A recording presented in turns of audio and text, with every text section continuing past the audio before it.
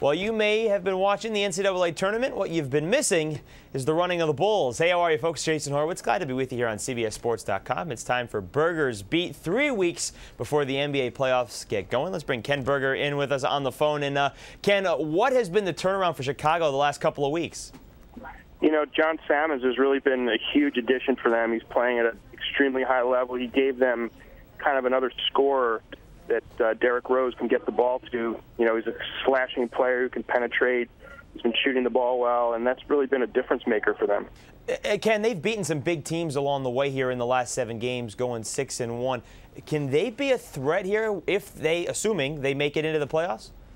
You know, they, they've really surprised me here with the way they're playing. I didn't expect this, and you know, I I didn't expect them to be you know, on the verge of passing Detroit. I thought Detroit, despite all the problems that they have had, you know, would kind of get healthy here and kind of, you know, rely on that experience that's been so, you know, crucial for them over the years. So now you would have to say that Detroit's in a little bit of trouble, and uh, and the Bulls have nosed ahead of them.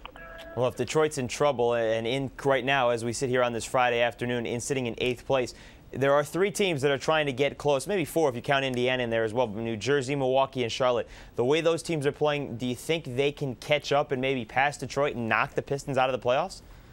I, I don't think New Jersey. Uh, I think New Jersey is still doing a lot of searching and they're too inconsistent. Um, now, if they can get on a little run, and that's true of anybody here, with only a dozen or so games left, you know, anything can happen. Charlotte, I thought uh, for a long time, really since the All Star break, has been playing extremely well, you know, as well as any of those teams. But they have you know, a scheduling disadvantage. They have a lot of road games coming up and a lot of big teams on the schedule. So those are going to be factors here, um, and it's going to be a matter of which team can can kind of catch fire. And right now, it's the Bulls.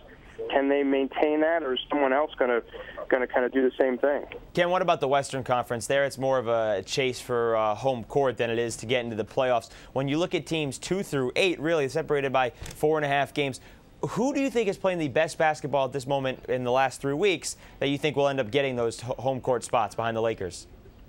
You know, I, I don't know if they're playing the, they're not playing the best basketball yet, but I think the, the the interesting team to watch is the Spurs, and I think you know they've they've done the right thing with trying to get Ginobili and Duncan you know the rest that they need. Ginobili came back the other night, you know, struggled as as to be expected, but um, you know, if he can get himself right, he can, you know, he is a huge difference for that team.